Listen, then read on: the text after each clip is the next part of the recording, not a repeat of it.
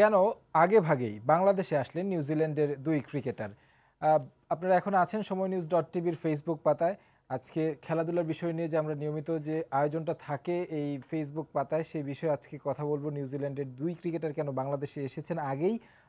সে বিষয় নিয়ে কথা বলতে আমার সাথে রয়েছেন আমার সহকর্মী মাকসুম আলম খান। মাকসুম, আপনাকে স্বাগত আলোচনায়। মাকসুম দুজন ক্রিকেটার তো চলে আসলো। আসলে মানে দল চব্বিশ তারিখ আসবে। তার আগেই তারা কেন মানে বেশ লম্বা সময় আগেই কিন্তু চলে আসলো। কারণটা কি বা কারা আসলো? তাদের আসলে আসতে হতোই। তারা দ্য হান্ড্রেড টুর্নামেন্ট খেলছিল ইংল্যান্ডে। যদিও টুর্নামেন্টটা একুশ তারিখে শেষ হবে তবে তারা আগেই চলে এসেছে। তাদের খেলা শেষ হওয়ার কারণে। এবং তারা যে আপনি নিশ্চয়ই জানেন যে যদি তারা নিউজিল্যান্ডে যেত তাদের কিছু কোয়ারেন্টাইন জটিলতা ছিল। সেই কোয়ারেন্টাইন জটিলতা এড়াতে তখন তখন হয়তো বা তারা দলের সঙ্গে যে চব্বিশ তারিখে দলটা হ্যাঁ, আসবে। সেটা হচ্ছে যে আপনার প্রায় দশ দিনের একটা কোয়ারেন্টিনের বাধ্যবাধকতা তৈরি মানে দিয়ে দিয়েছে নিউজিল্যান্ড সরকার। এখন করোনার যে মানে এখন যে ঢেউটা চলছে ওদের দেশে প্রায় বলা হচ্ছে এটাকে তৃতীয় ঢেউ। সেই জায়গা থেকে নিজেদেরকে একদম মানে সুরক্ষিত। সুরক্ষিত রাখার জন্য যেটা আসলে অস্ট্রেলিয়া খুব কঠোরভাবে মেনটেন করছে সেই জায়গা থেকে তারা যদি সরাসরি নিউজিল্যান্ডে যেত সেই জায়গায় যদি তারা দশ দিন কোয়ারেন্টিন করতে হতো তখন আবার চব্বিশ তারিখে মূল দলের সাথে তারা আসতে পারতো না। এখানে এসে তখন তাদের সিরিজ খেলা কোয়ারেন্টাইন করা বায়োবা বলে থাকা এগুলোর জটিলতা তৈরি হতো যার কারণেই তারা দুজন হান্ড্রেড টুর্নামেন্ট থেকে আগে চলে এসেছেন। আমরা ছবিতে দেখছিলাম কলিন ডি গ্র্যান্ডহোম তিনি নিউজিল্যান্ডের বেশ অভিজ্ঞ একজন ক্রিকেটার এবং তার সঙ্গে ফিন অ্যালেন সেই দুজন বাংলাদেশে আজকে এসে পৌঁছেছেন এবং তারা এখানের যে কোয়ারেন্টাইন শেষ করবেন এবং শেষ করে যেটা হবে যে দল চলে আসবে বাইবা বলে থাকবে এবং তারা আসলে হোটেলে উঠেই গেছে। টিম হোটেল যেটা ইন্টারকন্টিনেন্টাল সেখানে উঠেই গেছে। আরও দুইজন প্রতিনিধি আসার কথা আজকে। একজন। আরও এক- একজন আসার কথা। দুজন আগে এসেছে। তারা আসলে কি পর্যবেক্ষণ করতে বা কারা আসছেন আজকে আচ্ছা আগে সতেরো তারিখে লাস্ট সতেরো তারিখে এখানে নিউজিল্যান্ডের দুজন প্রতিনিধি দলের দুজন সদস্য এসেছেন। তিনজন আসার কথা ছিল। তো আমরা আগে থেকেই জানতাম যে তিনজন আসছেন। আমরা এটা নিয়ে নিউজও করেছি রিপোর্ট করেছি যে তিনজন আসছেন। পরে আমরা দেখলাম যে দুজন এসেছেন। ওই নির্ধারিত যে দিন সতেরো তারিখে ওই দুজন আসলেন। সেই দুজন ছিলেন হচ্ছে তাদের কোভিড প্রোটোকল পর্যবেক্ষক একজন মানে বিশ্লেষক একজন। তিনি সার্বিক বিসিবির যে ব্যবস্থাপনা আছে এই সিরিজ ঘিরে যে কোভিড প্রোটোকল যেটা বা বায়োবাবলের যে ব্যবস্থাপনা স্টেডিয়াম হোটেল সবখানে এটি তিনি বিসিবিকে একটা গাইডলাইন বিসিবিকে তাদের চাহিদাগুলো জানাবেন নিবিড়ভাবে পর্যবেক্ষণ করবেন যে বিসিবি তাদের চাহিদা মতো সেটা ব্যবস্থাপনায়। করছে কিনা। আর আরেকজন এসেছেন টিম ম্যানেজার। টিম ম্যানেজার আগে এসে দলের সঙ্গে তিনি থাকেন তিনি সার্বিক তত্ত্বাবধানে থাকেন। আর আজকে যিনি রাতে আসবেন আমি যতদূর জানি যে রাত দশটা চল্লিশের দিকে তার বাংলাদেশে নামার কথা রয়েছে যে নিউজিল্যান্ডের যে দুজন ক্রিকেটার গ্র্যান্ডহোম এবং ফিন অ্যালেন যে এসেছেন আজকে আটটা পঁয়তাল্লিশের দিকে সকালে। বাংলাদেশে এসেছেন এবং নিউজিল্যান্ডের আগের যে প্রতিনিধি দলের দুজন সদস্য তারাও সতেরো তারিখে দুপুর সাড়ে বারোটার অর্থাৎ এই চারজনকে আমরা দেখেছি সকালের দিকে আসতে বাট এই এবং নিউজিল্যান্ডের যে মূল দলটা আসবে ক্রিকেট দলটা তারাও দুপুরের মধ্যেই চলে আসবে। কিন্তু তিনি আজকে রাতে আসছেন যিনি নিরাপত্তা বিশ্লেষক তিনি আসলে সার্বিক নিরাপত্তাটা পর্যবেক্ষণ করবেন। আমরা জানি যে সাধারণত এশিয়ার বাইরে থেকেই আমরা এটা বেশি দেখি। ইংল্যান্ডের ক্ষেত্রে আমরা দেখেছি অস্ট্রেলিয়ার ক্ষেত্রে দেখেছি। এবং নিউজিল্যান্ডের ক্ষেত্রেও দেখব যে নিরাপত্তা পর্যবেক্ষণের জন্য আগে তারা একটা একটা দল বা এক- একটা একজন বিশ্লেষককে পাঠান যিনি সার্বিক নিরাপত্তা পর্যবেক্ষণ করেন যেটা এই করোনার যুগে আসলে বায়োবাবল পর্যবেক্ষণটা একটা বাড়তি দায়িত্ব এবং আরও আরও একজনটা তাদের নিয়োগ নিয়োজিত করা লাগছে।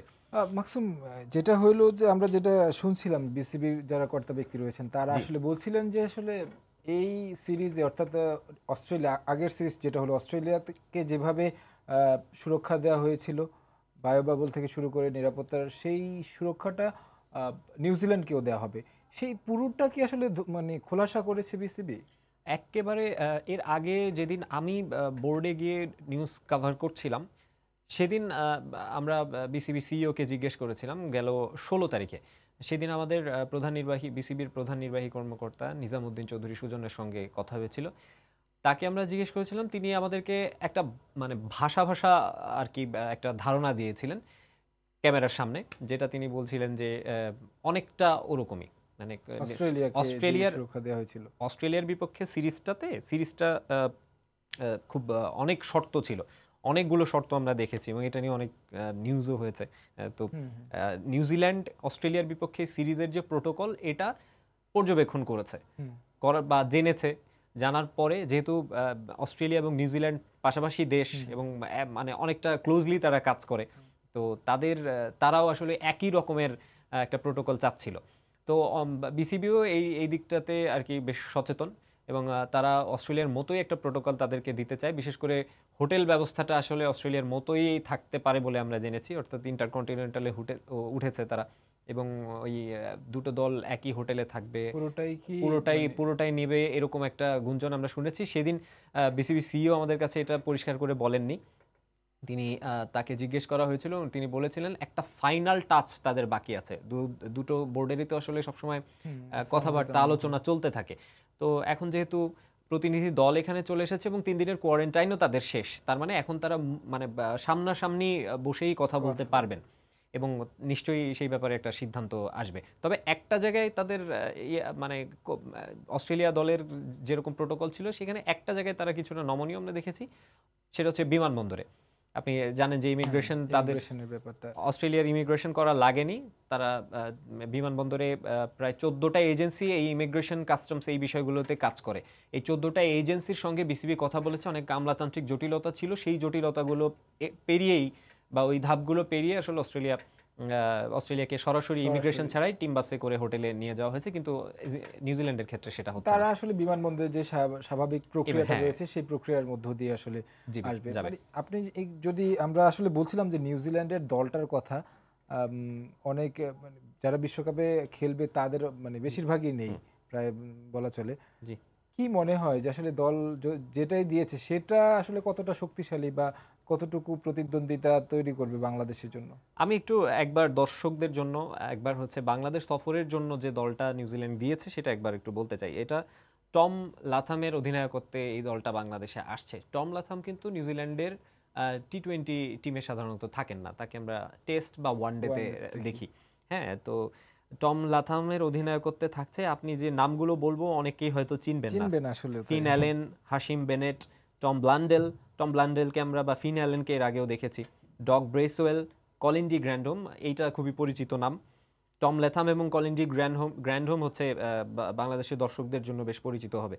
জ্যাকব ডাফি, স্কট কুগেলেইন, কুগেলেইনও আইপিএল খেলেন নিয়মিত এবং আমরা তাকে আগেও দেখেছি। Cole McConchie R Henry Nicholls Ajaz Patel, Rachin Ravindra, Ben Sears Will Young Blair Tickner. এই কয়জনের মধ্যে আমি মানে একেবারেই পরিচিত নাম কিন্তু খুঁজে পাওয়াই যায় না। অন্যদিকে তাদের বিশ্বকাপ স্কোয়াডটা দেখেন Kane Williamson captain Todd Astle Trent Boult Mark Chapman Devon Conway Martin Guptill Lockie Ferguson Kyle Jamieson Daryl Mitchell Jimmy Neesham Glenn Phillips Mitchell Santner Tim Seifert Ish Sodhi Adam মিলনে। তাদের এই এইটাই কিন্তু আসলে মানে নিউজিল্যান্ডের মূল স্কোয়াড নিয়মিত যারা খেলে থাকেন নিয়মিত স্কোয়াড। তো তাদের আমি বলব যে যে মানে তারা আসলে মূল স্কোয়াডটাকে বিশ্বকাপের আগে বাংলাদেশের এই সিরিজে পাঠাতে চায়নি। তারা একটা বিশ্রামে রাখতে চেয়েছে। এর চেয়ে এর চেয়ে বরং আইপিএল যারা খেলছেন যেহেতু সংযুক্ত আরব আমিরাতেই বিশ্বকাপ এটা নিয়ে আমরা হচ্ছে সেখানে। জি আমরা এটা নিয়ে বেশ কয়েকদিনই লিখছি। সেখানে আইপিএল নিয়ে এবারের আইপিএলটা নিয়ে কিন্তু বিশ্ব ক্রিকেটে আর কি একটা বাড়তি আগ্রহের জায়গা রয়েছে। প্রত্যেকটা বোর্ড তাদের ক্রিকেটারদের কিন্তু আলাদা করে দিচ্ছে যে হ্যাঁ। আইপিএল খেলার জন্য উৎসাহ দিচ্ছে একরকম বলা যায়। আমরা কিন্তু মুস্তাফিজ এবং সাকিবের ক্ষেত্রেও দেখেছি। আকরাম খান গতকাল কথা বলেছেন তিনিও বলেছেন যে যদি তারা চায় যদি তারা আবেদন করে তাহলে আমরা ছাড়পত্র দিতে রাজি আছি। আহ, কিন্তু এর আগেও কিন্তু আমরা শুনেছিলাম যে না মুস্তাফিজ বা সাকিবকে ছাড়া হবে না। মানে সাকিব আল হাসানের আইপিএল এ খেলা নিয়ে একটা বোর্ডের সাথে দ্বন্দ্ব তৈরি হয়েছিল দ্বন্দ্ব তৈরি হয়েছিল হ্যাঁ। না, সেই জায়গা থেকে এখন কিন্তু ছাড় দেয়া হচ্ছে মানে পুরোপুরি যাওয়ার জন্য উৎসাহ দেয়া হচ্ছে। হ্যাঁ। আর সেই জায়গা থেকে যদি আর একটু বিষয় বলি যে নিউজিল্যান্ড বাংলাদেশে তাদের মূল যে একাদশটা পাঠায়নি সেই জায়গা থেকে হয়তো বা এটাও চিন্তা করতে পারে যে বাংলাদেশের সফর বা করোনা পরিস্থিতি বাংলাদেশের এই মানে তাদের যে যারা মূল স্কোয়াডে রয়েছে তাদেরকে একটু সুরক্ষিত রাখার জন্য হ্যাঁ, হয়তো এটা তারা এই সিদ্ধান্ত নিতে পারে। অবশ্যই সেটাও হতে পারে ইনজুরির সংখ্যার ব্যাপার আছে। হ্যাঁ বাংলাদেশের দলও ঘোষণা হয়েছে। উনিশ সদস্যের দল দিয়েছে গতকালকে। আপনি যদি দেখেন এখানে মানে অস্ট্রেলিয়ার বিপক্ষের সিরিজ থেকে যুক্ত হয়েছেন মুশফিক আর হচ্ছে লিটন দাস বিপ্লব হ্যাঁ। আমিনুল ইসলাম বিপ্লব। যদি বাদের কথা বলি সেই জায়গা থেকে হচ্ছে মিঠুনকে শুধু বাদ দেওয়া হয়েছে। এরা এদেরকে নিয়ে আজ গতকালকে আমাদের টেলিভিশনেই মোহাম্মদ আশরাফুল একটু মানে নাকশ মন্তব্য করেছিলেন যে দলটাকে যারা আছে তাদেরকেই রাখা হলো। আরও কিছু প্লেয়ারকে বাজিয়ে দেখার সুযোগ ছিল কিনা আপনার কি মনে হয়? অবশ্যই ছিল। আশরাফুল সাবেক অধিনায়ক মোহাম্মদ আশরাফুল একটা কথা বলেছেন যে ঘরোয়া ক্রিকেটের যারা নিয়মিত পারফর্মার আমরা এই ধরনের সিরিজগুলোতে যদি তাদেরকে সুযোগ না দিই তাহলে কখন দিব? কথাটা আমার কাছে যৌক্তিক লেগেছে। যেমন তিনি কামরুল ইসলাম রাব্বি কিংবা ইয়াসির আলী রাব্বির কথাও বলেছেন হ্যাঁ তো তাদের আসলে আমরা যদি এই ধরনের সিরিজে আমরা হোমের হোমে যেহেতু খেলা হচ্ছে আমরা বেশি স্কোয়াডে বেশি ক্রিকেটার রাখতেই পারি। অ্যাটলিস্ট তাদের আমরা দেখে নিতে পারি এবং তাতে করে হয় কি যেমন আমি আমি বলব অস্ট্রেলিয়া এবং নিউজিল্যান্ডের মতো দলগুলো যেই পরীক্ষা নিরীক্ষাগুলো চালাচ্ছে।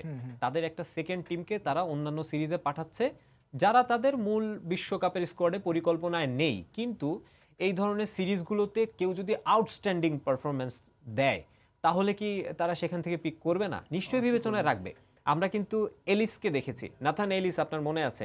অস্ট্রেলিয়ার বিপক্ষে বাংলাদেশের বিপক্ষে সিরিজে তিনি এসেছেন অভিষেক হয়েছে তার অভিষেকে তিনি হ্যাট্রিক করেছেন। তার পারফরমেন্স মানে তার নির্বাচকদের পছন্দ হয়েছে অস্ট্রেলিয়ার। এবং তাকে কিন্তু স্ট্যান্ড বাই রাখা হয়েছে তাদের বিশ্বকাপ বিশ্বকাপ বিশ্বকাপের স্কোয়াডে তো তেমন নিশ্চয়ই এখানে পারফরমেন্স কেমন করছে সেটার দিকেও তাদের বোর্ডের আসলে দৃষ্টিটা থাকবে এই সিরিজগুলোতে ভালো করা।